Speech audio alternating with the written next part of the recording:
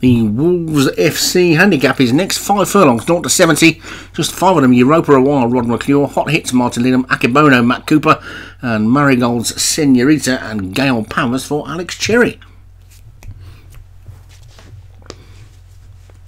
And there they go, just a five of them this time. And Alex Cherry's Marigold Senorita, or maybe Alex Cherry's Gail Powers, or maybe even Matt Cooper's Akebono. It's going to be Akebono, eventually settles down into the lead but immediately pressed by Gail Powers. These two are three lengths clear or so of Europa a while, Marigold Senorita and Hot Hit. Well, virtually three in a line. We're at Wolverhampton, not Newcastle, so even there's a five furlong west, we've still got a turn. And Akebono is leading from Gail Powers in second. The question is, have these two gone off too quick to set it up for the closers? Well, it's Akebono leading by about a length to Gail Powers in second. Then Europa a while is third, and Marigold Senorita. Hot hits being switched to the outside.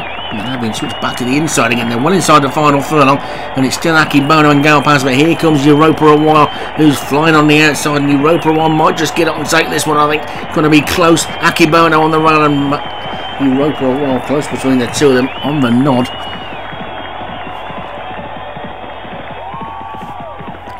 Matt Cooper's horse may have hung on.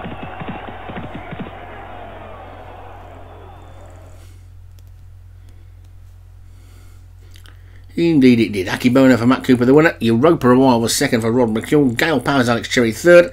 Hot Hits Martin was fourth. And Marigold Senorita for Alex Cherry was fifth.